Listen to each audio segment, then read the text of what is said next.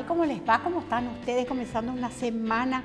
Ustedes se dan cuenta que ya estamos las últimas semanas, los últimos días de septiembre. Qué acelerado, cada vez empezamos más los lunes. Pero hoy hacemos un lunes de brownie sin gluten.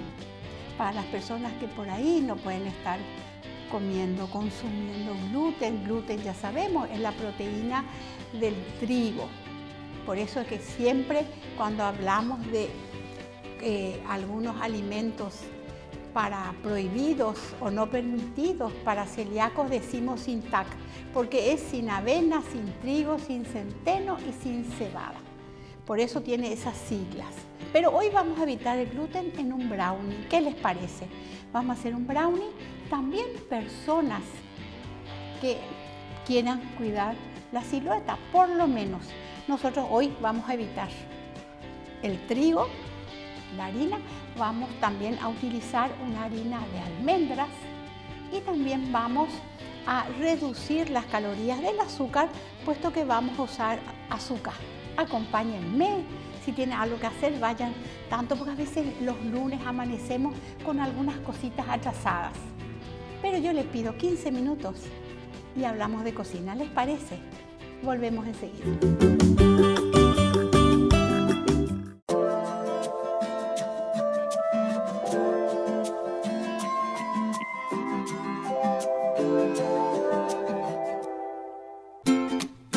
Mis hijos tienen gustos diferentes y para mí es importante poder darle a cada uno lo que le gusta. Por eso elijo Primicia, que tiene toda la variedad de alimentos que mi familia necesita.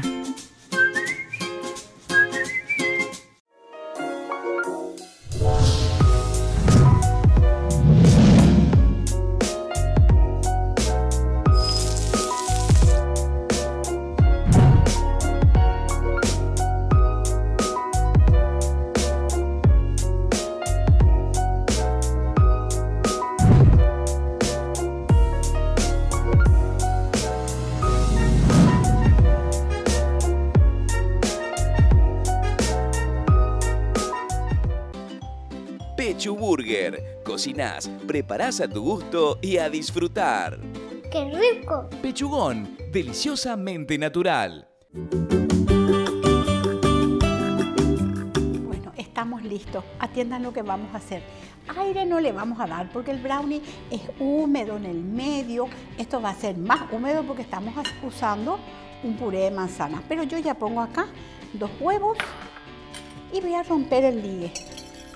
No es que voy a batir, voy a romper el ligue, estoy mezclando. Si bato voy a hacer así para poner aire. Ahí, ahí. Y acá no le vamos a poner manteca. Otra cosa buena, vamos a usar un yogur. Un yogur de vainilla puede ser. Integro el yogur.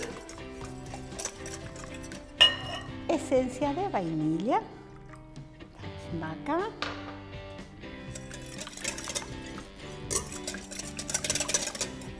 Sigo mezclando y chocolate derretido. Chocolate semi amargo. Ahí vamos.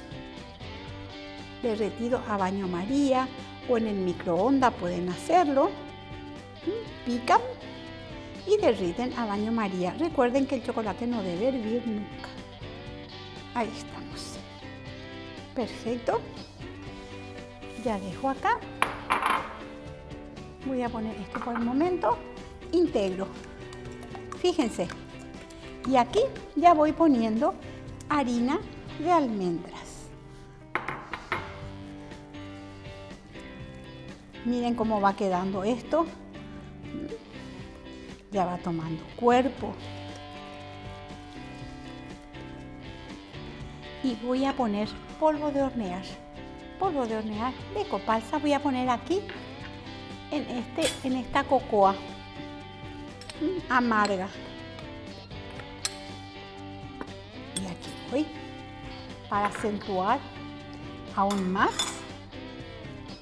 el sabor a chocolate. No estamos poniendo crema, no estamos poniendo manteca.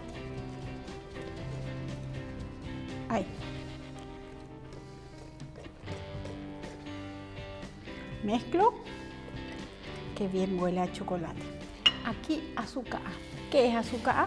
Es azúcar orgánica por un lado y por otro lado nuestra stevia, edulcorante más sano que podemos encontrar.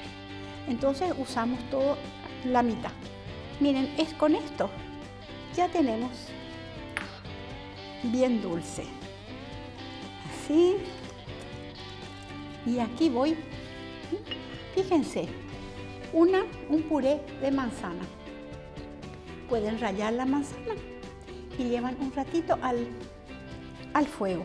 Y ahí se va a hacer como un puré cocinado, un puré de manzana. ¿Saben lo que pueden hacer? No quieren puré de manzana, puede ser la misma cantidad, 200 gramos, puede ser también un puré de calabaza. Para que le dé más cuerpo, recuerden que acá no estamos usando harina de trigo. Ni avena, ni centeno, ni cebada, ni harina de arroz, ni tampoco almidón de maíz.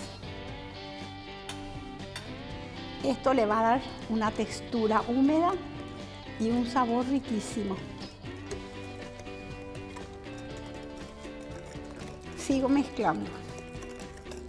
Ya tengo, fíjense, esta masa.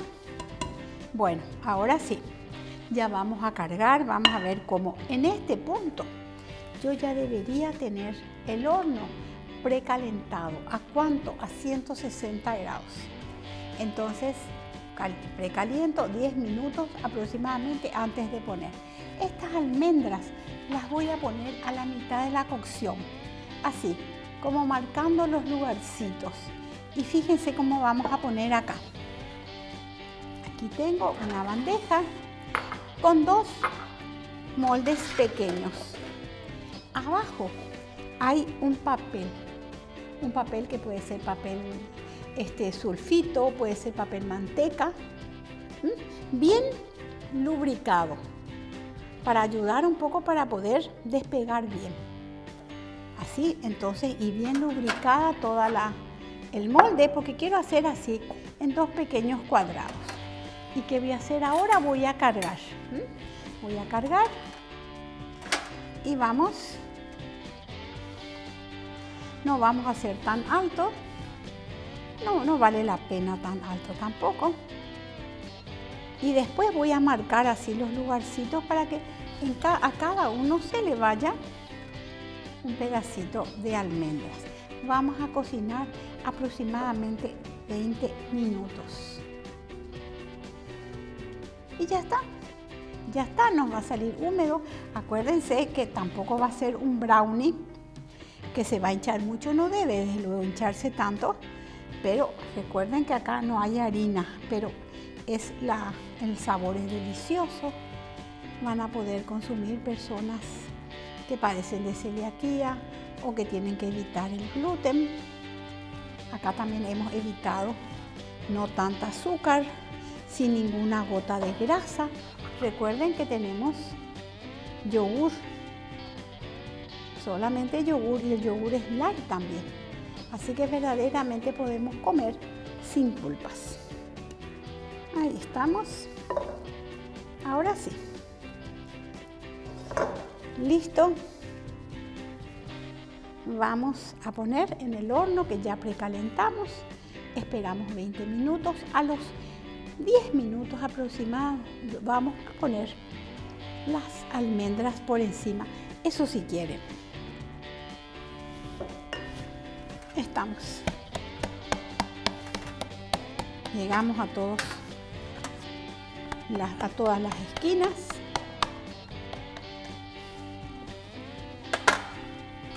Horno 160. Nos vamos.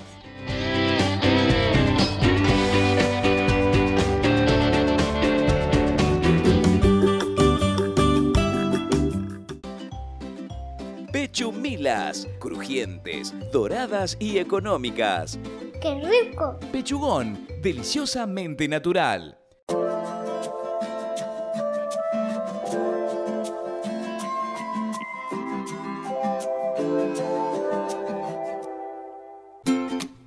Mis hijos tienen gustos diferentes y para mí es importante poder darle a cada uno lo que le gusta. Por eso elijo Primicia, que tiene toda la variedad de alimentos que mi familia necesita.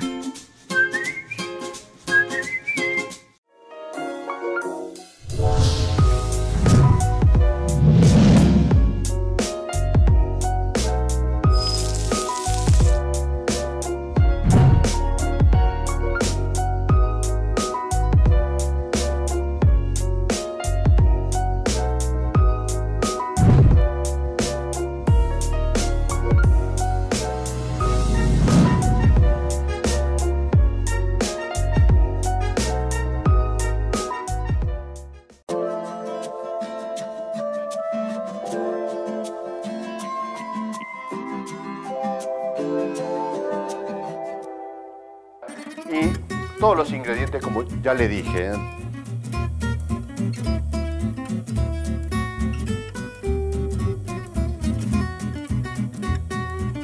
Primicia, tan rico que nadie puede resistirse. Pechu Nuggets, divertidos y nutritivos bocaditos de pollo, muy fáciles de cocinar. ¡Qué rico!